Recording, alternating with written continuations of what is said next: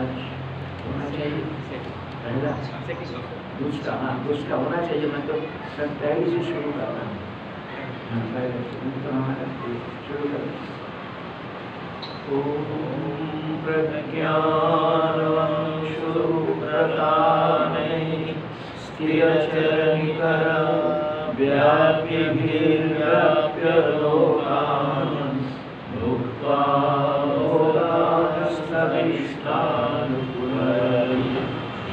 ईशनो भाषितान् कामजन्यान् देवा सर्वान् विशेषान् स्वइति मधुरभुं मायया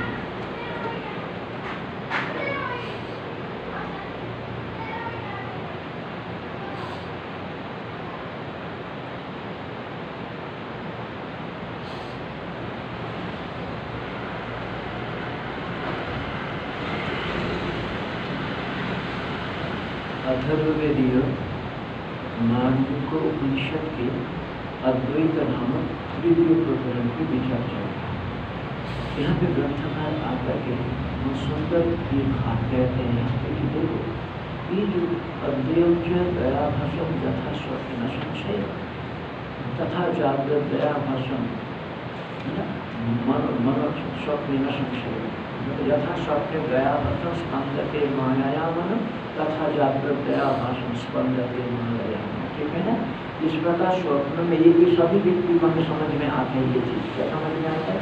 स्वप्न में कोई नहीं रहता, हमारे साथ कोई उपकरण भी नहीं रहता, अकेला मैं रहता हूँ, तब आपने सारा भोक्तु वस्तु को अपने आप हम मन से बना लेते हैं। इस प्रकार के जो दैत्य की आभास और मिथ्या हम भी जानते हैं, दैत्य की आभास मन का स्पंदन मात्र है। जैसा स्वप्न में भी दैत्य की आभास मन का स्पंदन है ना जागृत में भी ये आभास मन का स्पंदन है। जागृत वस्तु दिखाई पड़ता है, ये सत्य है, ये भी मन का स्पंदन है। बोलते, कैसे पता लगा आपको प्रमाण क्या है विषय में बोलते, देखो, मन को निरोध करके देखो, द्वैत को पति देखते दिखाई देता है कि नहीं दिखाई देता है? हाँ भगवान ने हमारे लिए अपने आप एक दृष्टांत भी बनाया। सुषुप्ति अवस्था में जाओ, आपको द्वैत के मंत्र दिखाई पड़ता है कि नहीं पड़ता? भेद दिखाई पड़ता है कि नहीं पड़ता? इसी प्रकार से यदि आप जागृत काल में बैठ के सुषुप्त में जा सकते हो तो क्या हो जाएगा? मन अमर हो जाएगा। और अगर क्या हो जाएगा, फिर देखे तो मन के भेद नहीं होगा ये क्यों कि शांतम शिवम अद्वैतम अद्वैत, द्वैतम अशांतम शांतम शिवम अद्वैतम ये शांति हम भूल गए हैं। अपने ही वो शांति है भेद भेद में शांति है भेद में अशांति इस चीज़ को यहाँ प्रतिपादन करके प्रमाण दिया था। मनोविश्वमिदम द्वैतम यत्किंचित सचराचर मनुष्य नहीं भावे द्वैतम नहीं दोगे जो भी कुछ संसार में दिखाई दे रहा है। ना, ये मनोदृश्य है, ये मन का ही दृश्य मन है केवल मात्र मनसा दृश्यते भी मनोदृश्य मन के तरह दिखाई पड़ता है। यत्किंचित सचराचर सृष्टि में जो भी कुछ आपको कहीं दृष्ट अनुसार कुछ विषय हो। मन इसको कल्पना करके सुनकर भी मन ही मन कल्पना करते रहते हैं। हम तो स्वर्ग को देखा नहीं मतलब सुना। हाँ हम ऐसा हो रहा है ऐसा हो मन कल्पना करके फिर जो है वो अब वहाँ पे जाने के लिए प्रयास करते हैं कि साधन ढूंढते हैं, कैसे मैं वहाँ पे पहुँचूँ। तो मनोदृश्य विदम देखता हूँ, जब किंचित सचराचर जो भी कुछ मतलब स्थावर जंगम जगत दिखाई पड़ रहे वो सब मनोदृश्य है। अपने से प्रमाण है, उसके लिए प्रतिज्ञा है। प्रतिज्ञा को पुष्ट करने के लिए क्या करना पड़ेगा? हेतु देना पड़ेगा। मनुष्य ही अमन ही भावे मन को यदि हम अमन कर सकते तो तुम्हें दैत्य उपलब्ध नहीं होगा। तो जो अमन करने के लिए आपको कहाँ जाना पड़ेगा? दृष्टांत सुषुप्ति समाधि मन लगती होता है आपको नहीं दिखाई इस प्रकार से इसको अब जो है ये मन अमन होता कैसे है? अब जागृत में वैसे एक तो प्रारब्ध के पश्चात हम सुषुप्त में चले जाते हैं। और तो हमें तो अपने को समझ में नहीं आता। उठ करके बोलते हैं, बाद में परंतु अब जागृत को कैसे सुषुप्ति बनाए? पहले ही बोल कर कहते हैं। वो कैसे हो सकता है? अपने आप लेता है। अपने कर है? हम लोगों ने थर्ड ईयर तक पढ़ लिए थे ना? इकतीस नंबर जो श्लोक है, वहाँ तक पूरा हो गया था। मनुष्य अमनि भावे एकदम नहीं ठीक है ना? ये जो आपने कहा, मनुष्य जब अमनुष्टम उत्तम, तब उपकार मन को अमन करना ये जो कहा गया है ना, उसको युक्तिपूर्वक प्रतिपादन करते उसको देखा जाए, कैसे मन अमन होना संभव है? पहले सूर्य, ये इस ग्रंथ का विशेषता यही है। शुरू से ही भाष्यकार भी बोल कर रहे टीकाकार भी बोल कर रहे जागृत को सुशुद्धि बनाने का प्रयास करें। जागृत को यही साधन है वेदांत अब जो है, मन जब अमन हो जाता है, तब हमको द्वैत उपलब्धि नहीं तो मन हो, अमन हो कैसे? हम तो सारी कहते हैं कि तो बाहर दृष्टि पर चितेगा तब बोलते हैं, देखो क्या कैसे हो। श्लोक में आत्मसत्यानुबोधेन। आत्मसत्यानुबोधेन। न सङ्कल्पयते यदा न यदा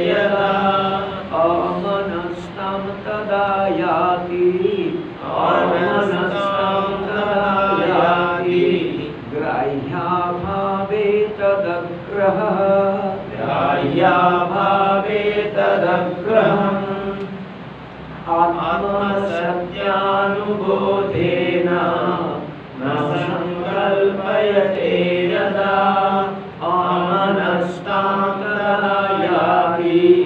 ग्राह्याभावे तदग्रहम् हैं?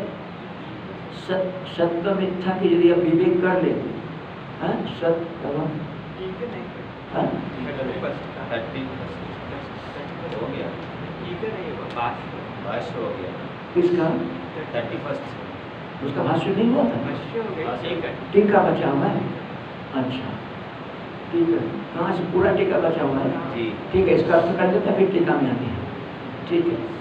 तो आपको मान लो कि किसी ने कहा कि गंगा तट पे पाँच फल पड़ा हुआ है। और आपको अगर पता लगे कि ये व्यक्ति झूठ भी बोलते हैं सच भी बोल सकते हैं तो आप उस फल के लिए सोचते रहेंगे कि नहीं सोचते रहेंगे? आपको किसी ने बताया, गंगा तट पे पाँच फल पड़ा हुआ अच्छा अच्छा जो हमें नहीं मिलता। बांटा जाए और आपको अगर पता लगे ये व्यक्ति सच भी बोल सकता है, झूठ भी बोल सकता पता है तो आप उस फल के बारे में सोचते रहेंगे कि नहीं सोचते रहेंगे? सोचेंगे? कि नहीं सोचेंगे? बोलो क्या करोगे अब हमको जब विवेकी व्यक्ति लोभी व्यक्ति तो सोचेगा हाँ जब तुम्हारा फल मिल जाता तो अच्छा होता। विवेक वैराग्यवान व्यक्ति, जाने तो उससे क्या फ़र्क पड़ता? है जो हमारे किस्मत में आएगा। एक बार मन से निश्चय हो जाता है कि ये व्यक्ति वस्तु सच नहीं है तो विवेकी व्यक्ति फिर दूसरा उसके लिए नहीं सोचता। क्योंकि हमारे यहाँ पे वेदांत में अधिकार प्राप्त करने के लिए पहले योग होता है विवेक। फिर उसके बाद क्या है? वैराग्य। है ना? विवेक पूर्वक वैराग्य हो जाता है। तब फिर जब बाहरी वस्तु संबंधित चिंता अपने आप कम हो जाता है। फिर जब श्रुति और उसके ऊपर और ज़ोर देते हैं कि अरे बाहरी वस्तु तुम्हारी लक्ष्य तक नहीं पहुँच पहुँचा सकते हैं, क्योंकि सब मिलता है। तुम जो चाहते हैं तुमको नहीं दे सकते। तो हम अपने आप सोचते हैं, "अरे इसको चिंतन से क्या लाभ है? इसका विचार करने से क्या लाभ इसलिए आत्म सत्य है ना? एकमात्र आत्मा ही सत्य है, भगवान ही सत्य है। इसका अनुभव गुरु शास्त्र आचार्य उपदेश के माध्यम से और अपने आप बार बार विचार करके अनुमंतन बार बार करके रिपीट करके बार बार करने से आत्मा अनुभव देना क्या होगा? न संकल्प संकल्प करने योग्य वस्तु नहीं रह गया। मुझे ये प्राप्त हो अगर मैं ये करूँ, इस प्रकार कोई वस्तु बाहर में रह नहीं गया तो आप उसके लिए चिंता क्यों करेंगे? क्यों आप ये कब होगा? आत्मसत्य अनुभव है। जब ये निश्चय हो जाएगा संसार ईश्वर ही एकमात्र सत्य वस्तु है और वही हम जिस जिस आनंद को मैं ढूंढ रहे हैं, वो आनंद एकमात्र ईश्वर से ही प्राप्त हो सकता है। फल तो क्या है? अन्य वस्तु संबंधित चिंता अपना भी छोड़ दिया आत्मसत्य अनुभव देना न संकल्प आप क्यों भी संकल्प करता? क्योंकि पता लगा कि आत्मा को कल्पित वस्तु है आत्मा अधिष्ठान सत्य है। अधिष्ठान सत्य है। मान लीजिए रज्जु को भ्रांति से हमको एक सुंदर माला दिखाई दी। रज्जु को भ्रांति से। अब जो किसी ने हमको बता दिया कि वहाँ पे माला नहीं है रज्जु अब मन ही मन सोचते रहेंगे हाँ वो अच्छा माला मिल था, होता तो एक का माला था मैं पहन लेता। अब सोचेंगे कि नहीं सोचेंगे इसके बारे में? विवेकी व्यक्ति नहीं सोचता कि किंतु जानते हैं क्योंकि माला है नहीं। अविवेकी व्यक्ति सोचता नहीं। है ना, इसलिए आत्मा सत्य है ना, सामान्य वस्तु पे ना ये आसान हो जाता है। जहाँ जहाँ हमारा मन फंसा हुआ है, वहाँ वहाँ उस चिंता करो, तब जाकर के पता लग जाएगा। है ना? इसलिए भाई रुद्राक्ष की माला जब साधु के लिए कुछ अट्रैक्शन की वस्तु हो गई। ठीक है, मेरा तो हम आश्रित ये नहीं है परंतु उसके लिए संकल्प करने हमारे लिए लाभदायक होगा, ये होगा। कुछ नहीं होगा लाभ। क्या लाभ होगा? क्या लाभ करेगा? थोड़ा सा जो है मान लीजिए कि शरीर संबंधित यदि कोई बीमारी को ठीक करता है कभी बोलता है, ये चाय कुछ भी करो, ये जब मरने का समय आएगा कोई नहीं बचा सकता। यदि कर्म सही है तो अपने आप ही सही चलता है। वो माला मोला कुछ नहीं करता और यदि नहीं है, आत्म सत्य अनुबोधे ना, एकमात्र आत्मा ही सत्य है। और बाकी उसके ऊपर जो भी कुछ वस्तु अधिष्ठानी सत्य है, जो भी कुछ वस्तु सामने दिखाई दे रहे सारे कल्पित है। इसका अधिष्ठान एक मत हमको कैसे समझ में आएगा? अनुबोधेन ये मुख्य चीज़ है। शास्त्र, आचार्य, गुरु, उपदेश को बार बार सुनना केवल इतना ही श्रवण के बाद क्या करना पड़ेगा? मनन आपके आत्मसत्य अनुभव हाँ? जो आत्मा ही सत्य है, ये गुरुमुख से सुना, शास्त्र से सुना भगवान आपने अभी बोलते अनित्यम असुखम लोकम। सुनने का बाद भी वहीं पे जो है नित्य भी मानते सुख कभी प्रतिष्ठा कम करने की कोशिश करते हैं। इसलिए आपको क्या करना पड़ेगा? अपने आप, अपने बार बार इसको मनन करना पड़ेगा, चिंतन करना पड़ेगा। आत्मसत्व अनुभव देना न संकल्प इस समय भावी वस्तु संबंधित कोई चिंता नहीं करता तो क्या हो जाएगा? अमनस्कम तदा जाती। तब मन अमन हो जाता है तब मन अमन हो। जाता है क्योंकि मन की अस्तित्व तो आप वृत्ति के माध्यम से समझ सकते हैं। आप यदि मन में वृत्ति उठती भी है मान क्या वृत्ति उठेगी? ईश्वर और भगवान शब्द मतलब अधिष्ठान के साथ एक होगा तो वृत्ति अब अधिष्ठान से भिन्न करके दिखाई अमनस्कम तदा जाती इस समय मन अमन हो। जाता है क्यों? ये मुख्य चीज़ है। ये ध्यान रखना। ग्राह्य भावे मन किसको चिंता करता है? ग्रहण करने योग्य वस्तु बाहर होता तो मन उसको ग्रहण करता। है ग्राह्य भावे तब अग्रहम मतलब ग्रहण करने योग्य कोई वस्तु हमारे लिए कोई उपयोगी वस्तु संसार में है नहीं तो उसका संकल्प करके मैं क्या करूँ? उससे है तदाग्रह उसका ग्रहण नहीं होता। जब ग्रहण करने योग्य वस्तु ही नहीं है, संसार में कोई भी ऐसा वस्तु नहीं है जो हमारे लक्ष्य तक पहुँचा सके तो फिर उसको ग्रहण मैं क्यों करूँ? उसका इकट्ठा मैं क्यों करूँ? तब अग्रम उसका फिर ग्रहण नहीं होता। ये हमारी विवेक वैराग्य की फल है। विवेक वैराग्य की फल यही है।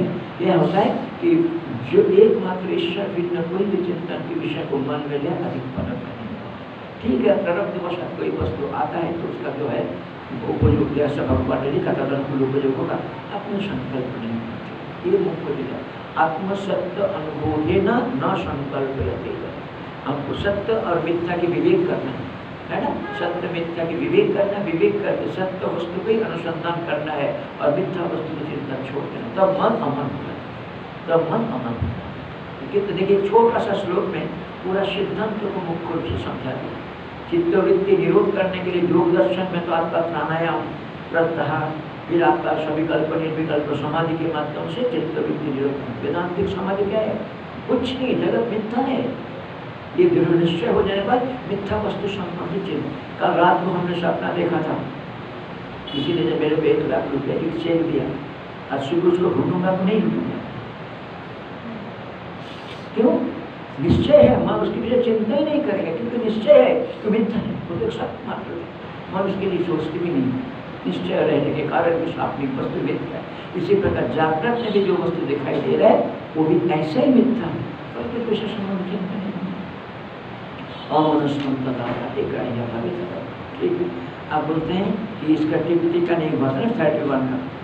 ठीक है। टीका में देखिए मनोमात्रम दैतम इत्यत्र प्रमाणम। है ना, कि मन ही द्वैत को सामने लाके खड़ा करते विषय में प्रमाण क्या है? बोलते हैं मनोदृश्यम इदम द्वैतम जबकि सचराचर है ना, कि मन ही जब मुख खोलते ये विवेक चुरा मन में आते हैं। नहीं अस्ति अविद्या मनस्वंतरे ये मन से भिन्न संसार में अविद्या नामक कोई वस्तु है नहीं।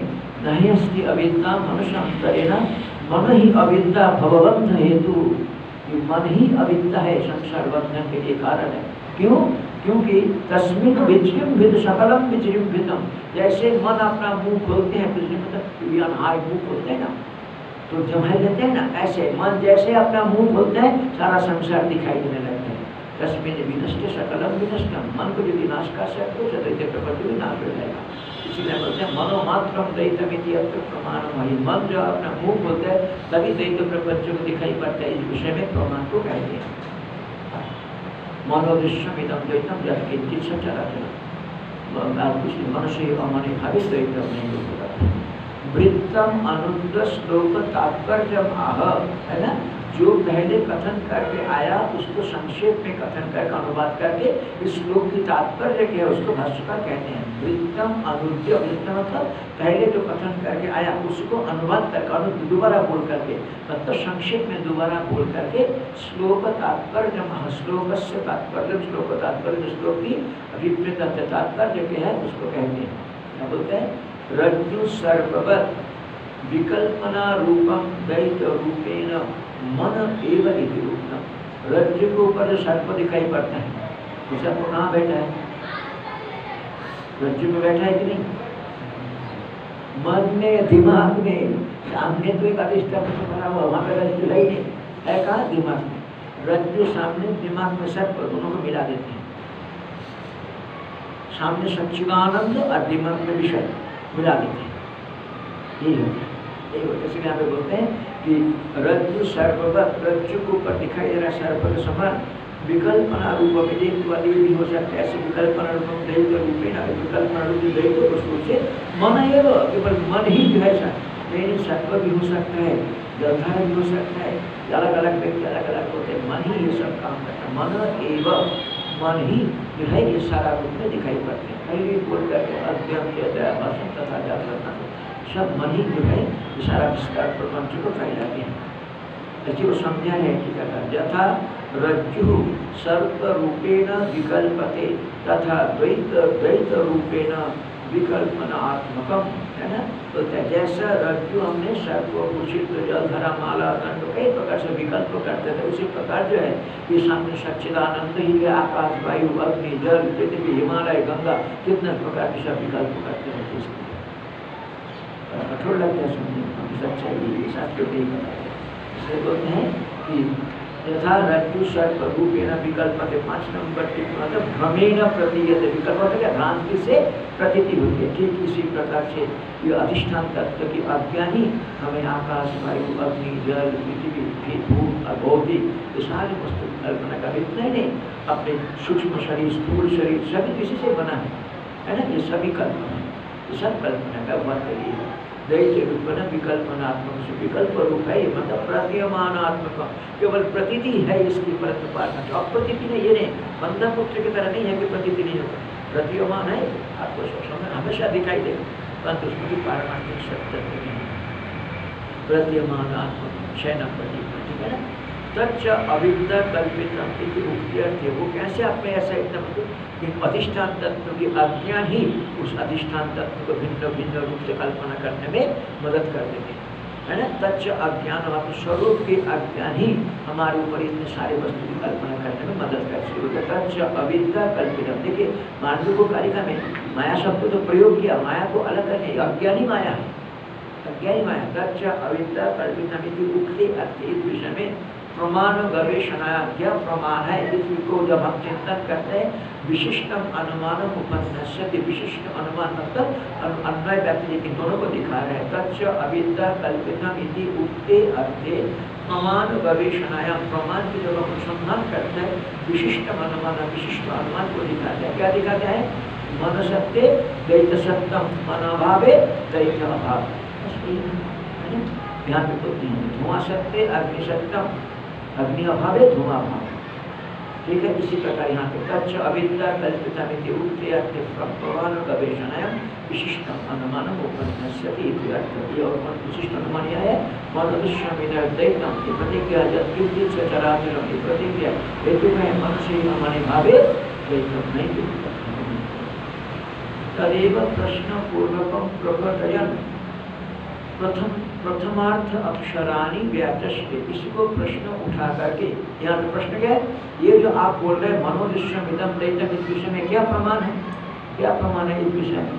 तब बोलते इसलिए बोलते हैं, प्रश्न उठा करके, तदेव प्रश्न पूर्वकम प्रकट करके, प्रथमार्थ अक्षरानी पहला आधा भाग में जिस अक्षर आया हुआ है, उस अक्षर को यहाँ पे स्पष्ट करते हैं। तदेव प्रश्न पूर्वकम प्रकट उसी को ही प्रश्न पूर्वक स्पष्ट करते। प्रथमार्थ अक्षरानी पहला आधा भाग में आए हुए श्लोक की पहला आधा भाग क्या है? मनोदृश्यमिदम देतम जद किंचित उस आधा भाग में अक्षर को व्याख्या करते हैं। तो तत्र किम अन्य अनुमान तीन प्रकार के होते केवल अन्य केवल व्यतिरिक अन्य व्यतिरिक लक्षण। है अन्य व्यतिरिक ना दोनों पक्ष का आपको मिल जाएगा ये है तो ये है ये नहीं है तो ये नहीं है। का, का, का मतलब कारण सत्य कार्य सत्यम कारण अभाव कार्य तदेव प्रश्न पूर्वक प्रथमार्थ अक्षराणी व्याचष्ट सात नंबर टिप्पणी में देखिए टीका में द्वैतात्मना मन। तदेव ये मन ही एकमात्र कारण क्या है? ये जो मन एकमात्र विश्व जगत को खड़ा करते उसमें क्या प्रमाण है? उसको तत् शब्द कहा है तत् मतलब द्वैतात्मना मन। जो है, ये प्रश्न कैसे हो सकता है? इसको प्रकट करते हुए प्रथमार्थ व्याचष्ट श्लोक के पहले आधा में आए हुए पद को व्याख्या करते हैं। प्रश्न क्या उठाया? कि तत्व किम प्रमाणम व्यतिरिक लक्षण कथम कैसे? तब उसको तथा बोलते हैं। देखिए तेन ही मनसा विकल्प मानेना दृश्य मनोदृश्यम इदम द्वैतम मन प्रतिज्ञा। ठीक है ना? आप देखिए टीकाकारी सम्मान कर रहे विमतम मन नियत भावत्वा विमतम मनो मात्रम तत् नियत भावत्वम विवादास्पद द्वैत द्वैत प्रपंचम मन ये पक्ष हो गया, ये साध्य हो गया। शब्द क्या बोलता है? कि मन का ही केवल विकल्प मतलब मन का एक प्रोजेक्शन मात्र, मन मात्र। क्यों? तब भावे नियत भावत्वा, क्योंकि मन जब अपना मुँह बोलता है, तभी वो दिखाई पड़ता है, जब मन मुँह बंद करता है, तब नहीं दिखाई पड़ता। इसलिए होता है कि मात्रम ये पक्ष हो गया मनोमात्रम ये साध्य हो गया मतलब मनोदृश्य है तो क्यों? हेतु दिया तब भावे नियत भावत्वा। संप्रतिपन्न पर जहाँ आपको समझ में आते हैं, सभी को व्यक्ति मन बोलने से दिखाई पड़ता है। तो क्या हो? जाएगा संप्रतिपन्न बता दो जहाँ कहीं भी देख लो, आप जो मन खोलो तो जगत दिखाई देगा। यहाँ तक इंद्रिय खुला है, अगर मन काम नहीं करते, मन साथ नहीं देते तो आपको पता ही नहीं लगेगा सामने क्या बोला, सामने वाला व्यक्ति क्या बोल रहा है। कि नहीं? इंद्रिया आपका खुली है, आप दिखाई दे रहे हैं, कान भी खुला है तो मन कहीं चला गया स्वामी जी क्या बोल रहे हैं, पता ही नहीं लग रहा। इसलिए मन साथ नहीं दे तो द्वैत प्रपंच दिखाई नहीं समझ नहीं विमतम मनोमात्र तद भावे नियत भावत सात नंबर टिप्पणी दिखाई करो तद भावे नियत भावत तद भावे, एव भावत्वाद की मतलब भावे सत्य मतलब मन खुला, मन अपना मुँह खोलने पर ही द्वैत प्रपंच को उपलब्ध हो। जाए अगर नहीं, मन साथ देते तो द्वैत प्रपंच को उपलब्ध नहीं होता। यहाँ पे जो टीका में देखिए, जो अनुमान दिया हुआ है तो तद भावे नियत भावत्वा, ये आपने हेतु दिया यहाँ पे अदृष्टान्त संप्रति मतलब अब सुषुप्ति काल में नहीं दृष्टांत सुषुप्ति सुषुप्ति में यदि मन नहीं है तो आपको क्या होगा? ये व्यतिरिक्त दृष्टांत हो जाएगा। सुषुप्ति व्यतिरिक्त दृष्टांत जागृत की कोई वस्तु आपका अन्वय दृष्टांत होगा। तथा मृत भावे नियत भाव, इस प्रकार व्यक्ति का शक्ति घट सत्य व्यक्ति का अभाव घटाभाव इसलिए होता है, तथा मृत भावे नियत भाव, मृत मात्र घटादि यदि आचरण को दिया, है ना? है तो मृतिका से बना हुआ सारे विकार जो आपको उपलब्ध हो गया। मृतिका नहीं है तो मृतिका से बने हुआ उपकरण आपको नहीं मिलेगा तथा तथा मतलब एग्ज़ाम्पल के लिए बोल रहे हैं देखो जैसे मृत भाव मतलब मृत्यु का विद्यमान है जो निरंतर भाव वो हमेशा आपको मिलेगा क्या घट आदि घटा की वस्तु तो मृत मात्र हो मृतिका का संस्थान विशेष है एक मृतिका एक विशेष नाम रूप से कहा देखने पर मृतिका एक विशेष रूप में देखने पर तब उसका नाम कुछ विशेष हो जाता है। इसलिए तथा तथा मृत भावे नियत भाव, मृत मंत्र घटादि इस प्रकार, इसी प्रकार मन भावे नियत भाव, विश्व प्रपंच, मन जब काम करते तब विश्व प्रपंच इति अनुमान आचरित। इस अनुमान को यहाँ पे स्पष्ट करके समझाते हैं क्या समझाते हैं? द्वैतम सर्वम मन प्रतीक में द्वैत प्रपंच सारा मन ही मात्र है। मन अपना मुँह खोलने में तब द्वैत प्रपंच दिखाई देते हैं। और मुँह बंद रखते हैं तो द्वैत प्रपंच इंद्रिय कुछ नहीं कर पाते। हैं उक्तम एवं। तो दोनों प्रकार के बोलते हैं अन्य भी है, व्यतिरेक भी है। यहाँ पर अन्य क्या लिखा? मन सत्य दैत सत्यम। तो व्यतिरेक क्या हो जाएगा? मन अभावे, है ना? मन अभावे, द्वैत अभाव। इसलिए बोलते हैं उक्तम एवं व्यतिरेकम स्फोरय द्वितीय विभाजते। जो कथन कर उसी का व्यतिरेक, है ना? उसको दिखा करके स्फोर स्पष्ट करके द्वितीय अर्थम श्लोक के द्वितीय अर्थ क्या है? मनुष्य ही अमनि भावे द्वैतम नहीं वो पदार्थ द्वितीय अर्थ को विभाजते उसको अलग करके दिखाते हैं। तो देखिए यहाँ पे आठ नंबर टिप्पणी क्या बोलता है? व्यतिरेक अव्यक्ति अन्वय सुस्फुटत्व अस्फोरण भाव। अन्वय जो है ना तो स्पष्ट आपको समझ में आता है। व्यतिरिक्त इतना समझ समझ में नहीं आता। इसलिए व्यतिरिक्त को स्पष्ट करके कहते हैं अन्य तो को दिखाई पड़ता, समझ में आता है। कि मन फ़ंक्शन करते तो जागतिक वस्तु दिखाई पड़ते से बोलते पे अन्वय से तो आपको स्पष्ट रूप से दिखाई दिखाई देता समझ में आता है।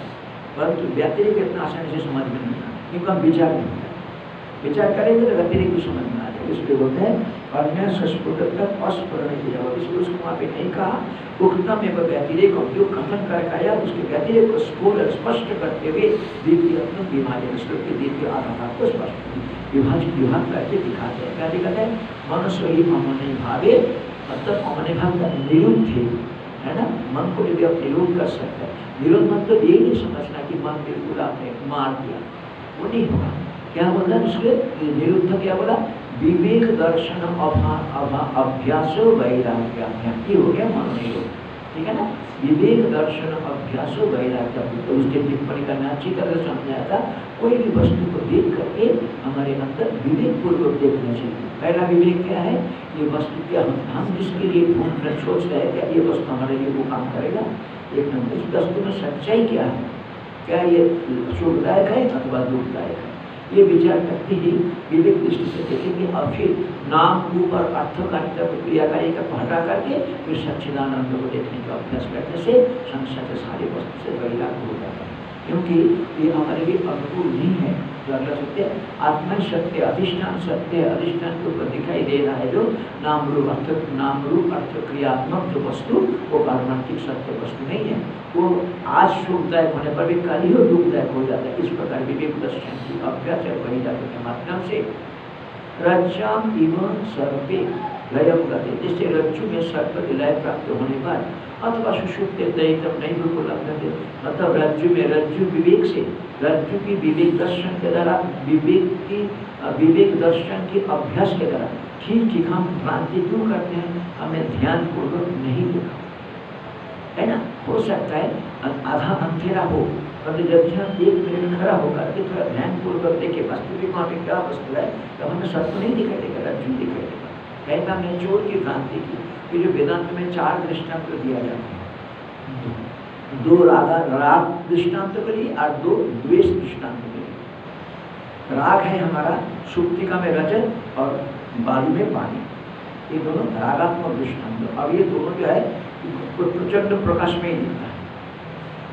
जब आप देखिए सुप्तिका में रजत कब दिखाई देगा आपको? सूर्य की प्रचंड प्रकाश में और हमारे मन में उसकी प्राप्ति की इच्छा है। है ना? भोग वस्तु की इच्छा है। ये रात के लिए हमारा तृष्णा है। इसलिए जो मरुभूमि में पानी दिखाई देता है। इसलिए विषय भी, हमारे मन में विषय प्राप्ति की तृष्णा है। इसलिए विषय हो। गया दो दृष्टांत हो गया शुक्ति, रजत और मरुभूमि में पानी। ये दोनों रागा राग को समझाने के लिए और प्रचंड प्रकाश में सूर्य प्रकाश में दिखाई पड़ते हैं। मतलब ये प्रचंड अभिवेक क्योंकि हम कुछ नहीं और जो जो दो दृष्टांत कहते हैं कि रज्जु में सर्प और स्थानों में पुरुष। रज्जु में सर्प, स्थानों में पुरुष देखना आधा अंधेरा नहीं होगा ये द्वेष करते मतलब वहाँ से भागने के लिए नहीं, वहाँ से चोर है मैं नहीं जाऊँगा तो पकड़ नहीं, वहाँ पे सर्प है मेरे को काटे। ये दो दृष्टांत द्वेष प्रतिपादन द्वेष में उत्पन्न होता है वहाँ पे हम विवेक से नहीं लगाए जाते समय देखा वहाँ पे पेड़ है आते समय दिखाई दे रहे हैं वहाँ पे अब वहाँ पे कोई पेड़ काट रहे तो हम भूल जाते हैं क्योंकि हमारे पास कोई धन है वो हमसे धन छीन लेंगे ये द्वेष करते हैं हम उससे अच्छा है हमारे अच्छा चला जाएगा इसलिए देश को हमारे पास पूछा है वो चला ले जाएगा इसलिए हमारे देश को हम उससे अच्छे हमारे भौतिक योग्यता अच्छा इसलिए वो खराब है जैसे कोई व्यक्ति जजमान के घर गया था धन दिया तो लेकर आ रहा था, उसको स्थानों को देख कर कटा हुआ पेट को देख करके चोर भ्रांति क्यों हो रहा क्योंकि मन में डर बैठा हुआ है कि मेरा धन कोई नहीं है। ना? ठीक इसी प्रकार सर्प हो गया तो सर्प भ्रांति क्यों होता है? क्योंकि मेरे कोई काम नहीं दस कुछ हो।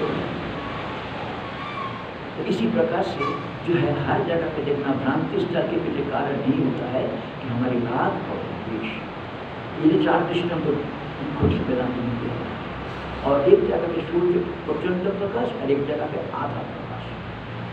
जगह आधा। दोनों जगह पे यदि हम खड़े होकर के ठीक से देखते हैं, तब हमें भ्रांति नहीं तब हमें नहीं होती। इसलिए यहाँ पे बोलते हैं कि मनुष्य मनी भावित द्वैतम नहीं उपलब्ध उत्तम एक व्यतिरेकम स्फोर्य द्वितीय अर्थ विभजते मनुष्य मनी भावित द्वैतम नहीं उपलब्ध मनुष्य का निरुद्ध मतलब विवेक दर्शन अभ्यास ये है सार्थक के लिए देखिए भगवान भाष्यता की पंक्ति है, हमारी पंक्ति नहीं है। विवेक पूर्वक वस्तु को देखने का अभ्यास इमोशनली मंत्र को। वो तो हमारे के संस्कार से वस्तु के मंत्र को तो शास्त्र कर रहे शास्त्र दृष्टि से देखना सीखो तब क्या हो जाएगा? संसार के प्रति बढ़ जाएगा। मन मन हो ही जाएगा। अपने आप जाएगा। तब क्या हो जाएगा? आपका सत्य मिथ्या की निश्चय हो जाएगा। इस प्रकार कोई व्यक्ति बुज़ुर्ग व्यक्ति समझदार व्यक्ति कभी भी स्वाप्निक वस्तु को लेकर के चिंता नहीं करता। यही जो है हमारे लिए विवेक वैराग्य को प्राप्त करने के लिए उपाय है। तब क्या होता है रज्जु को ऊपर दिखाई दे रहा है, सर्प जैसे रज्जु को लय प्राप्त करते हैं, इसी प्रकार इस प्रकार सुषुप्त में जाने से हमारी मन जो है, अपने स्वरूप में लय प्राप्त करते हैं। परंतु एक होता है सुषुप्त में भी हम सदा स्वप्न तदा संपन्न भवती। सोम अपीड़ित भवती उस समय हे सोम प्रियदर्शन ये सब के साथ एक होकर के सोता है। ब्रह्मसूत्र में शंका है। तब आपके पास कुछ समुद्र से पानी उठाया। आप पानी जब फिर समुद्र में मिल जाता, वो पानी दोबारा आप मिल सकता है कि नहीं मिल सकता? समुद्र से पानी उठाया, आपने नहाया कुछ बचा हुआ पानी को अपने समुद्र में, आप सोचे उसी पानी को मैं निकालूँगा।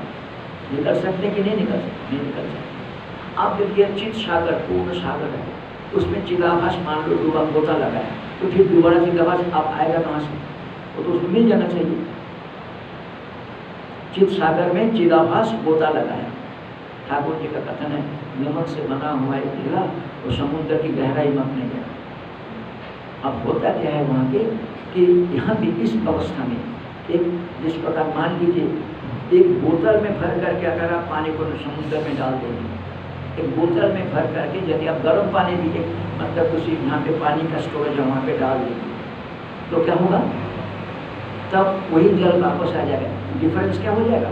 मान लीजिए आपने गर्म पानी भरे थे तो गर्म पानी क्या हो जाएगा? वो जो इसका टेम्परेचर है मतलब जो पानी के स्टोर में जितना टेम्परेचर है, ये टेम्परेचर थोड़ा रिड्यूस अथवा बढ़ेगा। दोनों में से उस टेम्परेचर को प्राप्त करेगा मतलब क्या हो गया? कि हम लोग जागृत स्वप्नों में जो मतलब इंद्रियोजनिक व्यवहार करते हुए थक जाते हैं। वो मन क्या होता है कि अविद्या के एक आवरण के साथ चित आकाश में सदा स्वप्न तदा संपन्न भवती स्वम अपीड़ित भवती, है ना? वो सत के साथ एक होकर सोता है। सदा संपन्न हो, पूर्ण। तो फिर वापस कैसे आता है? ब्रह्म संतोष में वापस इसलिए आता है कि अज्ञान नाश नहीं हुआ। तो पतला पॉलीपैक वहाँ पे लगा हुआ है, दिखाई नहीं पड़ता। वो पॉलीपैक फिर उसको उठाकर वही पानी को बाहर लाता है। फिर आगे शरीर में तादाद में तो जागृत में यदि हम अभ्यास करेंगे, क्या हो जाएगा? वो पॉलीपैक छेद होने लगता है। वो पॉलीपैक छेद होने लगता है। फिर क्या होगा? अपने आप पानी सहित। अब आगे क्या हो रहा था? थकावट मिटा करके हम फ्रेश होकर के सुषुप्ति से उठ जाते फिर दोबारा काम करते हैं। है ना? पूरा आनंद से आके भर के आते हैं। ये सोए हुए अवस्था में भी हमारे अंदर कुछ क्रिया होती हैं। देखो, मान लीजिए आप गहरी नींद में गए और गहरी नींद पूरा होने से पहले आपको किसी ने जगा दिया। उस समय आप अपने, आप अपनी मनोबुद्धि शरीर की स्थिति को ऑब्ज़र्व करें और सुषुप्ति में गए। पूरा निद्रा करके अपने आप खोल के उठा। उस समय अपनी मन बुद्धि शरीर की स्थिति को ऑब्ज़र्व करें। दोनों में भिन्नता दिखाई पड़ता कि नहीं पड़ता पड़ता कि नहीं पड़ता ये भिन्नता, ये काम हो रहा था सुषुप्ति में। ये जो भिन्नता आपको समझ में आ रहा है, ये काम सुषुप्ति में होगा। मन को शांत करना, इंद्रिय को शांत करना, शरीर की सारा क्रांति को ये काम सुषुप्ति में हैं अपने बने हैं इसीलिए यहाँ बोलते हैं कि एक बार यदि मन इस प्रकार अभ्यास करते हैं विवेक पूर्वक तो दर्शन हो इसीलिए यहाँ बोल रहे हैं उत्तम एक व्यतिरिक्त विभजन समाधि शापयो अभी ठीक है सुषुप्ति अवस्था में अथवा मतलब समाधि अवस्था में द्वैत की उपलब्धि नहीं होने पर भी न असत का। मन असत हो जाएगा, ऐसा तो नहीं हो सकता। क्यों? मन जो है, देखिए, सामान्य सूक्ष्म शरीर स्थूल शरीर तो बदलता रहता है। सूक्ष्म शरीर कब से आपके पास? लिंग शरीर मतलब जिसको बोलते हैं, वो कब से आपके पास? इस शरीर में अलग और पहला शरीर में अलग अगला शरीर में अलग होगा कि नहीं होगा? लिंग शरीर वही रहता है। अनादिकाल से जब से सृष्टि आया हुआ है, कितना बार भी ब्रह्मा जी के काल बदल जाए। परंतु जब तक ज्ञान नहीं होगा, जब तक लिंग शरीर भेद नहीं होगा, तब तक यही लिंग शरीर एक नया नया अपनी वासना का अवसर। इसलिए मन का नाश कैसे होगा अनादिकाल से चलते नित्य वस्तु है। इसलिए आप बोल रहे हैं, समाधि सापयो अनुपलब्ध, समाधि अवस्था में सुषुप्ति अवस्था में मान लीजिए द्वैत को उपलब्ध नहीं फिर भी न असत्य, मन जो है है नहीं, ये तो नहीं हो सकता। न असत्यम मन नहीं हुआ ऐसा तो नहीं हो सकता, शंका करते हैं। बोलते हैं, माना थी ना में देखो भाई, अनुमान नहीं करना, प्रमाण के अनु अब आपने आप प्रमाण से देख लो सुषुप्ति काल में आपका मन रहता है कि नहीं रहता? परंतु द्वैत प्रपंच नहीं दिखाई पड़ता, क्यों नहीं दिखाई क्योंकि मन फ़ंक्शन नहीं सुषुप्ति में मन जो है, स्वरूप तो लय नहीं होता, वृत्ति लय होता है। इंद्रियाँ जो है, मन में लय करते हैं, वृत्ति लय होते हैं, स्वरूप लय नहीं होते। और हम वेदांति मन की स्वरूप लय भी नहीं मानते हैं। तब द्वैत प्रपंच के मिथ्यात्व को निश्चय कौन करेगा? शुद्ध मन को निश्चय कर सकते हैं। वासनात्मक मन नहीं कर सकते हमारी इस पेट मेरे पास रहे, मैं हमेशा ये वासना रहेगा, और वो पेट मिथ्या भी है। ये दोनों पेट मेरे पेट कोई काम नहीं है। ये दोनों भाव एक साथ मन में नहीं हो सकते। ठीक इसी प्रकार जागतिक प्रपंच में। मिथ्यात्व निषेध मान अधीन में सिद्धि। प्रमाण के अधीन होकर के प्रमेय वस्तु का सिद्ध होता है। यदि अभिप्रत्य शुरू मन में रखते हुए कहते हैं। क्या बोलते हैं? यदि अभावा इस प्रकार से मतलब सुषुप्ति अवस्था में और आपका समाधि अवस्था में। मन जो है वृद्धि हो जाने के कारण मन को दृढ़ प्रपंच नहीं दिखाई की उपलब्धि नहीं होती उसके अभाव सिद्ध हम द्वैत क्या सिद्ध हो जाता है? द्वैत प्रपंच में पारमार्थिक सत्य नहीं है। ठीक है? अब ये द्वैत प्रपंच पारमार्थिक शब्द तो नहीं है है ना? ये निश्चय करने के लिए क्या बोले थे? आत्म सत्य श्लोक का मुद्दा एक बार दोबारा पढ़ेंगे थर्टी टू आत्मा सत्य सत्नुबोधेन न यदा। आमनस्ता तदा जाति ये मुख्य चीज़ मन अमन होगा कैसे? मन ठीक है, मन अमन करने पर द्वैत करना होगा कैसे? मन तब क्या बोला? आत्मा सत्य अनुभूति ईश्वर भगवान, परमात्मा, आत्मा, यही एकमात्र सत्य वस्तु है संसार में। कैसे पता लगेगा? अनुभूति न शास्त्र, गुरु, आचार्य, उपदेश को सुनना और फिर मनन कर अंग बार बार रिपीट करते हैं। बार बार बार उसको विचार करते जाएँगे। आत्म सत्य अनुभूति न हमारा निश्चय हो जाएगा। क्या? ये व्याकृत में हमारी वस्तु दिखाई पड़ रहा है, वो कोई भी वस्तु संसार में, कोई भी वस्तु मेरा प्रयोजन को सिद्ध नहीं कर सकता। मतलब जब आप, मैं आत्मा हूँ, मैं असंग हूँ, मैं व्यापक इस भाव को अभ्यास करेंगे तो इस आत्मा की असंगता व्यापकता, पूर्णता को, इसको अनुभव के साथ साथ क्या हो जाएगा? जागतिक वस्तु की अनिकता और अनुपयोगिता मन में अपने आप बढ़ता रहता है क्योंकि इस उपयोगिता केवल शरीर को मात्र के लिए आत्मा के लिए कोई वस्तु की उपयोगिता नहीं है। ठीक है, शरीर अपना प्रारब्ध पुष्यति बहुत निश्चित तथा स्वपन है ना प्रारब्ध से शरीर चल जाएगा इसके लिए फिर आपको योग चेप के मतलब अभ्यास करने की आवश्यक, प्रयास करने की आवश्यकता नहीं है। इसलिए आत्म सत्य अनुभूति न, आत्मा ही एकमात्र सत्य वस्तु है। अनुभूति न, बार बार बार बार विचार को सम्मत समझने के फलस्वरूप कहता है, न संकल्प लगेगा हमारी वस्तु संबंधित वो संकल्प आपको निश्चय हो गया कि मान लीजिए यहाँ पे आए हैं, पहला संस्कृत कोई वस्तु हमको अच्छा लग गया तो हम जानते हैं, कि कैलाश करते हैं, हम इस यहाँ से नहीं ले सकते। शिव जी को यहाँ से हम उठा के ले जाए ऐसा तो नहीं हो सकता, क्योंकि नियम ही ऐसा इसी प्रकार जब निश्चय हो जाता है कि यहाँ की कोई वस्तु भी यदि हमारी आत्मज्ञान के लिए कोई वस्तु की उपयोगिता नहीं है तो फलत हम क्यों इसके विषय में चिंतन करें? इसलिए बोलते हैं अस अस आत्मसत्य अनुभव है ना, न संकल्प करते जाता तब मन अमन होता है। मन अमन होता है मतलब क्या होगा? ये नहीं समझना कि क्या होगा? मन विषय संबंधित वृत्ति नहीं उठाएगा। तो जो सत्य तत्संबंध एक ब्रह्माकार वृत्ति सत्याकार वृत्ति आत्माकार वृत्ति यदि उत्तम अधिकारी है तो मतलब कठोर परिषद यदा सर्वे प्रपंचते कामानस्य हृदय अथवा मत अमृत भवती, अत्र ब्रह्म संस्कृति। जैसे ही मन अमन मतलब वासना रहित हो जाएगा।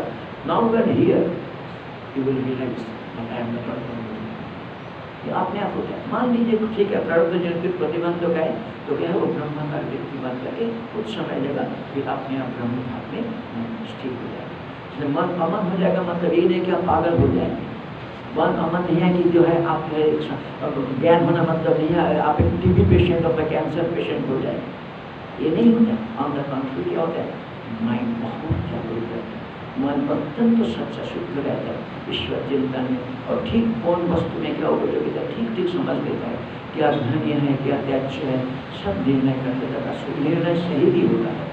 जब जितना जैसे जैसे हम सेल्फ ओरिएंटेड थॉट को छोड़ देंगे मतलब करके तो उतना ही हमारा जो भी थॉट्स माइंड में आएगा, वो सही होता जाएगा। जितना हम अपना ego and egocentric self desire के ऊपर थॉट्स माइंड में प्रोवाइड करते रहेंगे, उस थॉट में गलती होना सकती है जितना आप ईश्वर चिंता में मन को लगा करके रखेंगे, उसमें यदि मान लीजिए कि बाहरी विषय संबंधी चिंता आ गया। तो आपको पता भी नहीं लगे कुछ कैसे सब चलेगा इसलिए आप बोलते आत्म सत्य अनुबोधन न संकल्प किया जाता और यही हमारे अमनस्कता है। मन है बाहरी, अमनस्तम तदा जाती, ग्राह्य भाव मतलब संकल्प करने कोई योग्य कोई वस्तु है ही नहीं संसार में। तब किसके बारे में हम संकल्प करें किसको प्राप्ति की इच्छा हमारी जिस जिस लक्ष्य को हम प्राप्त करने के लिए कोशिश कर रहे हैं, उस लक्ष्य को प्राप्त करने के लिए संसार में कोई भी वस्तु को लेके नहीं। लेकिन जिसने लिखा बताओ कि मनश्चेतना लगभग दुर्गंध किल तथक किल तथक उसी ने लिखा गुरु नहीं शिष्य एक ही व्यक्ति ने लिखा ना? भगवान शंकराचार्य के गुरुवाष्टकम निर्माणाष्टकम है ना एक जिस समय साधन मार्ग शुरू होता है और एक साधन की परिसमाप्ति न मृत्यु न शंका न में जाति को पिता नहीं को मैं नहीं को माता से जन्म न बंधु का मित्र गुरु नहीं शिष्य से। स्थिति इसी यही है कि कोई बाहरी वस्तु का चिंता नहीं है पिता, माता, भाई जगह इसकी आवश्यकता धीरे धीरे मन जैसे संसार की सत्य को निश्चय कर लेता है तो अपने सत्स्वरूप का अभिव्यक्ति अपने आप होता है इसीलिए बोलते हैं अमनस्तम जब ग्रहण करने जो को वस्तु कुछ हमारे सामने नहीं है तो मन किसके संकल्प हो रहा है संकल्प करने बंद हो जाता है अब देखिए इसके ऊपर टीकाकार भाष्य का ऊपर करते श्लोक नंबर थर्टी टू ठीक है मनसो जब अमनस्तम उत्तम जल उपकार कि मन अमन हो जाता है, ये जो कथन करता है ना, इसी को युक्तिपूर्वक समझा रहे इसी को युक्तिपूर्वक समझा रहे मनुष्य जब अमनुष्यतम उत्तम तब उपवाद उसको युक्तिपूर्वक सिद्ध करके दिखाते प्रतिपादन करते आत्मशब्द अनुकूल ठीक है समाधि सापयो अनुभवे अभी टीका है समाधि सापयो समाधि अवस्था और अवस्था दोनों अवस्था में अनुभव अभी मन की अनुभव नहीं, द्वैत के अनुभव नहीं होने पर भी। मनुष्य स्वरूप है, द्वैत के अनुभव नहीं होने पर भी मनुष्य स्वरूप नित्य मन स्वरूप से नित्य होने के कारण दो प्रकार से भी सूक्ष्म शरीर जो है, ज्ञान बिना भेद नहीं होता। अनाधिकाल से चलता है स्वादिक तत्व है। यद्यपि श्रुति तो बोलती है कि एक चाहे थे प्राण मन सर्वे मतलब इस परमात्मा से प्राण, मन सब की उत्पत्ति एक मतलब कि सूक्ष्म शरीर, ज्ञान के अंदर भेद नहीं इसलिए। और उसके बाद क्या है, अधिष्ठान के साथ जब एक करके देखें तो लेकिन अधिष्ठान नित्य है इसलिए आप बोलते तो कहीं दूसरे समाधि सापेव अनुभवी अभी समाधि और सुषुप्ति अवस्था में समाधि सुषुप्ति अवस्था में द्वैत प्रपंच की उपलब्धि नहीं होने भी मनुष्य स्वरूप में मन का जो है, स्वरूप से तो नित्य का नित्य होने का न अमनस्थ, मन अमन तो होगा ही नहीं, क्योंकि आक्षेप ऐसा आक्षेप करें वास्तविक यही है कि अर्जुन भी बोला था, भगवान श्री कृष्ण बना योयम योगस्तया प्रोक्ता सामने न मधुसूदन तीर्थस्नम न पश्यामि हमें मन कृष्ण प्रमाथि बलवतीरम तस्म निग्रह मन में वायु कृष्ण बोला कि मतलब अर्जुन क्या बोलते हैं? मन को भी शंका कर हैं। या यही बोलते हैं, मन को करना आसान नहीं है, इसलिए तो नहीं, वायु को जैसा मानना असंभव है, ऐसे मन को बांधना असंभव है। भगवान क्या उत्तर दिए थे? असंशय महाबाहो।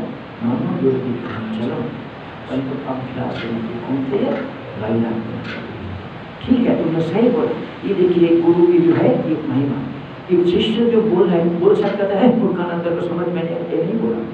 क्या बोला? तुम सही ये इतना आसान है। यानी कि वहाँ शिष्यों के मन में, हम लोगों के मन में थोड़ा हौसला रहते हैं। ठीक है, हमने तो इतना तो समझ पाया, परंतु देखो अर्जुन उपाय है। क्या उपाय है?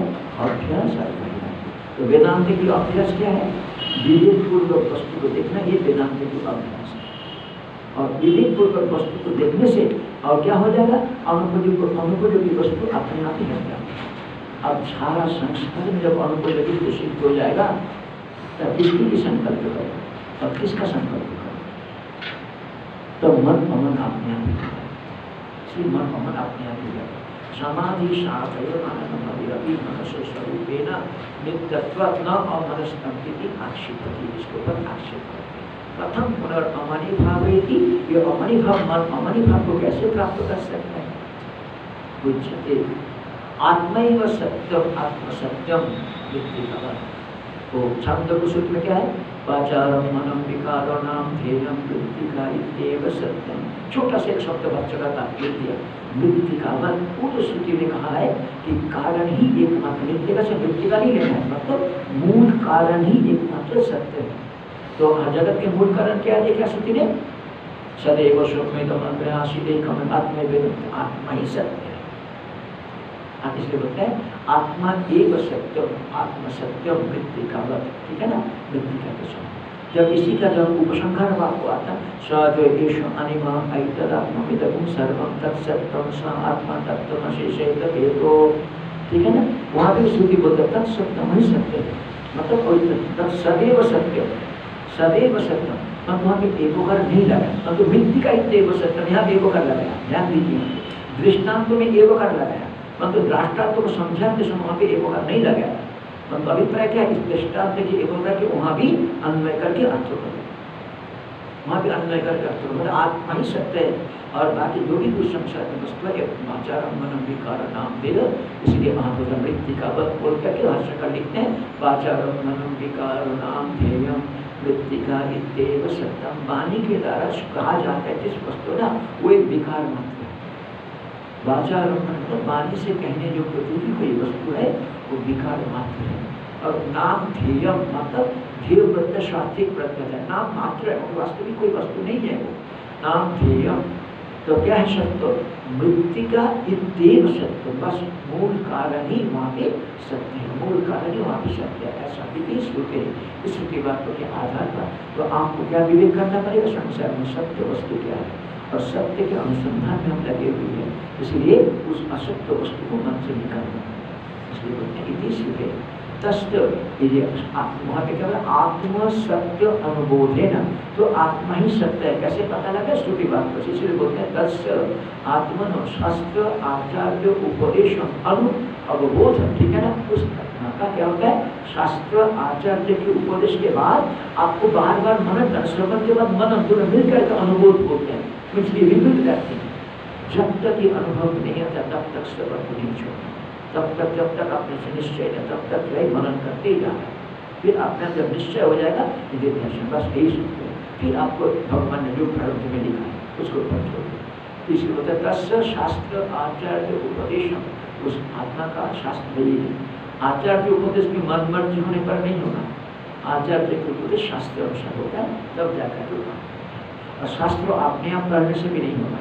आचार्य मान पुरुषो वेद, आचार्यादि प्रपिता विद्या स्वादिष्टा भगवती दोनों छात्र पुरुष विद्या नहीं सदविद्या सद विद्या गुरु से प्राप्त किया हुआ विद्या ही वह मुख्य रूप से फलीभूत होता है। इसलिए तस्य आचार्य उपदेश अनु अवबोध, आत्मसत्य अनु अवबोध मतलब साक्षात्कार। यही मतलब बार बार श्रवण मनन के फलस्वरूप उत्तम अधिकारी कम हो जाए सामान्य अधिकारी को थोड़ा अधिक समय लगता है। और भी और भी सामान्य होगा तो थोड़ा सा जो आत्मब्रह्म का व्यक्ति से निश्चय हो जाता है। इसलिए होते तस्य शास्त्र आचार्य उपदेश अनु अवबोध, एक नंबर टिप्पणी मतलब साक्षात्कार। अनुभूत हो जाता है आत्मसत्य अनुभूत। जब आत्मा की सत्य निश्चय हो जाएगा फिर क्या बोलते हैं? न संकल्पयते। जैसे ग्रहण और ग्राह्य और ग्रह तीन शब्द है? ग्राह्य, ग्राह, ग्रहण। ग्राह्य मतलब क्या हो गया? ग्राह्य मतलब ग्रहण करने योग्य वस्तु। ठीक है? और ग्रहण मतलब ग्रहण करने वाला। और ग्रहण मतलब जो ग्रहण क्रिया हो रहा है मतलब ग्रहण करने योग्य वस्तु को ग्रहण करने के लिए बीच में जो क्रिया उसको ग्रहण। ये संकल्पीय, संकल्प मतलब संकल्प करने योग्य वस्तु। एक होता है संकल्प धातु है समुपसर्ग है सामर्थ्य धातु है उससे बनता संकल्प शब्द ये क्रिया मतलब संकल्प यदि टेन कन्जुगेशन में इसलिए वो संकल्प न संकल्प संकल्प नहीं करता किसके संकल्प नहीं करता संकल्पीय अभाव संकल्प करने योग्य वस्तु की अभाव होने के कारण संकल्पीय, ठीक है ना? मतलब संकल्प से संबंध रखने वाला वक्ता होते हैं तो वहाँ पे प्रसंग लिखा। इसे मतलब संकल्प करने योग्य वस्तु के अभाव होने के कारण तीन तीन मतलब क्या हो जाएगा? वहाँ पे मतलब ये तत्व ज्ञान, लेकिन आत्मा ही सत्य है, और बाकी संसार में सारा वस्तु मिथ्या है। इस कारण से जब मिथ्या वस्तु को चिंतन करने से क्या लाभ मिथ्या चिंतन क्या क्या ये मन ही अपने आप सोच लेगा इस, इसके फलस्वरूप संकल्पीय अभाव दया संकल्प करने योग्य वस्तु के अभाव होने के कारण क्यों? सत्य मतलब इसमें कोई पारमार्थिक सत्य तो नहीं है, अधिष्ठानी सत्य है, ऐसा निश्चय होने के कारण न संकल्प मन के विषय में अपने सत्य अपने संकल्प ये देखिए, अमनस्को का मैं बोला ना, वेदांतिक समाधि और योग शक्ति समाधि में ये भिन्नता है। विचार पूर्वक जगत की सारा वस्तु में मिथ्यात्व निश्चय होने पर इस प्रकार स्वाप्निक वस्तु मिथ्या हो जाए तो उसके विषय में चिंतन नहीं करते. ठीक इसी प्रकार जागतिक वस्तु संबंधित चिंता अपने अंदर मन से अपने मन से चला जाते हैं तेना संकल्प अभाव क्या न संकल्प. दृष्टांत तो क्या दे रहा है? दाइहा भावे जलनम पीव अग्नि. जिस लकड़ी के ऊपर आश्रय करके अग्नि अभिव्यक्त हो गया था, उस मतलब दहन होने होने योग्य वस्तु के अभाव में तो अग्नि अपने आप बुझ जाती है। दहन होने योग्य वस्तु आप डालते रहेंगे तो अग्नि बनती रहेगी। अब दहन होने योग्य वस्तु के अभाव हो गया तो अग्नि अपने आप बुझ जाती इसलिए बोला, इसी प्रकार दाइहा भावे जगनम इव अग्नि जिस प्रकार अग्नि की जो दाहिका शक्ति, वो अपने आप ही बुझ जाती है। अपने आप कम हो जाता है, शांत हो जाता है। क्यों? दाह्य वस्तु नहीं है, जलाने योग्य वस्तु वहाँ की नहीं है। जलाने योग्य वस्तु वहाँ की नहीं है। इस लकड़ी में हमने एक कोने में आग लगा दिया, जब तक ये लकड़ी दहन धन योग्य वस्तु है, तब तक आग जलती रहेगी। परंतु जैसे ही समाप्त हो जाएगा, शांत हो जाएगा इसे होता है। दाई हाथ भावे दहन होने योग्य दहन योग्य वस्तु के अभाव होने पर जलन की वजह से मतलब अपनी की दही का शक्ति अपने आप चले जाती है, इसी प्रकार। क्या हो गया? संकल्प करने योग्य वस्तु के अभाव के कारण मन की वस्तु संबंधित संकल्प का अभाव हो। गया फिर वस्तु संकल्प ही नहीं करता इसलिए होता है, दाई हवा के चरण भी बताते हैं। जिस समय की होते हैं, यदा जस्मिन काले, तदा तस्मिन काले अमनस्ताम अमनी भाव उस समय मन क्या होता है? अमन भाव होता है, उस समय मन अमन भाव मान लीजिए बाहरी वस्तु चिंता नहीं करने पर भी पूरा निरोध समाधि जैसा बोलते हैं, ऐसा निरुद्ध नहीं हो रहा है, परंतु मन को वृत्ति उठाएगा किसके वृत्ति उठाएगा जब आपने निश्चय कर लिया कि इस वस्तु हमारे लिए उपयोगी नहीं है, अनुपयोगी वस्तु की चिंता तो मन करेंगे स्वाभाविक एक ईश्वरी शब्द क्योंकि इसलिए बोला, आत्मसात ये सिद्ध पुरुष के लिए जो स्वाभाविक हो जाता है, साधन के लिए वो साधन। भगवत गीता में जब आप सिद्ध प्रज्ञा की लक्षण, गुणातीत की लक्षण, भक्तों की लक्षण भी बढ़वा के भगवान भाष्य पर स्पष्ट बोलते हैं कि देखो सिद्ध पुरुष के लिए जो स्वाभाविक होता है, यहाँ भी उस कहने का अभिप्राय क्या है कि साधन के लिए वही साधन हमें भी इस अवस्था में सिद्ध पुरुष स्वाभाविक हमें भी धीरे धीरे जागतिक वस्तु में तत्व निश्चय करने पर जब हमने निश्चय कर लिया कि हमारे लिए उपयोगी नहीं है, इस संबंधित चिंता मन में नहीं है। इसलिए तस्मिन काले, तदा तस्मिन काले अमनस्ता मन अमनी भाव प्राप्त अमनी भाव हो जाती। मतलब वो वृत्ति रहित हो जाता है। मन वृत्ति रहित हो जाता है। अधिष्ठान के साथ एक हो जाता है। तो ग्राह्य भाव है ग्रहण करने योग्य वस्तु की अभाव होने के कारण मनो अग्रहम। तब मन क्या होता है? मतलब हो जाता है। मतलब मन का ही ग्रहण नहीं होता। तब मनो अग्रहम। जाति ग्राह्य भावे मतलब ग्रहण करने योग्य वस्तु नहीं होने के कारण तन, मनो, अग्र वो मन से अग्र, भाव में आ जाता है। ग्रहण और विकल्पना वर्ग का अर्थ है ना? ग्रहण करने योग्य जो वस्तु के विकल्प होता है, उससे रहित हो जाता है। ग्रहण विकल्पना वर्जित इस अवस्था में आ जाते हैं। उसी को देखिए, टिप्पणी का द्वितीय दो नंबर टिप्पणी में निरोधाख्य परिणाम, अतिरेक परिणाम विदूर मतलब मन किस किस अवस्था में परिणत हो गया? निरुद्ध हो गया। निरुद्ध हो गया। अब निरुद्ध देखिए, ये सामान्य अवस्था में किसी एक भरी बाज़ार में, भरी बाज़ार में आप कोई बड़े दुकान में गए और कोई अच्छा सामान मतलब कीमती सामान खरीदने के लिए गए। अब दुकानदार आपको सामान दे दिया, पैक कर और आप उनको पैसा देने जा रहे हैं। अचानक बिजली चली गई। अचानक उस समय देखिए, mind for a second, fraction of second mind की क्या स्थिति वो मन बिल्कुल मतलब क्या बोलते हैं कौन हो जाता है कुछ नहीं फिर बाद में धीरे धीरे अंदर हो गई वो स्थिति धीरे धीरे मन कुछ नहीं करता उसको उस अवस्था को यदि हम बढ़ा सकते हैं उस अवस्था को यदि हम बढ़ा सकते हैं अथवा सेकेंड स्टेज है कि मान लीजिए कोई वस्तु को प्रिय वस्तु है हमारी हमारी प्रिय वस्तु हमें मिलने पर मन उस देर तक वहाँ लगा रहता है अब ध्यानपूर्वक उसी को देखते लगा के रखिए मन दूसरा कोई प्रिय वस्तु को जाने से पहले तुरंत देरी से जाना चाहिए तुरंत पकड़ लीजिए क्योंकि मन की स्वभाव है, एक प्रिय वस्तु को छोटी वस्तु कोई प्रिय वस्तु आप कुछ देर के लिए प्रिय वस्तु में मन लगा रहता है। छोटा बच्चा को लगा रहता है छोटा बच्चा को मम्मी, पापा ने कोई नया खिलौना के दिया कुछ देर तक उसको खेलता रहेगा।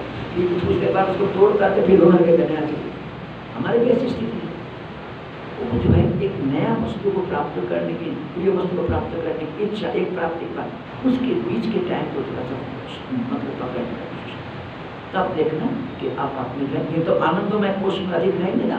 तो आनंदमय कोष में रहने के कारण आनंदमय कोष के प्रति अधिष्ठान जब ब्रह्म उच्च प्रतिष्ठा तो समझ में क्या ठीक है। आज पहला वर्ग। अजम अपि योनियोगम तापदैश्वर्ययोगा परतिं जगतिमत्यां तापदेकं निगमनं विविधविषयधर्मग्राहिमुद्देशानां ब्रह्मयत्तन्नतोषि ॐ पूर्णमदः पूर्णमिदं पूर्णात्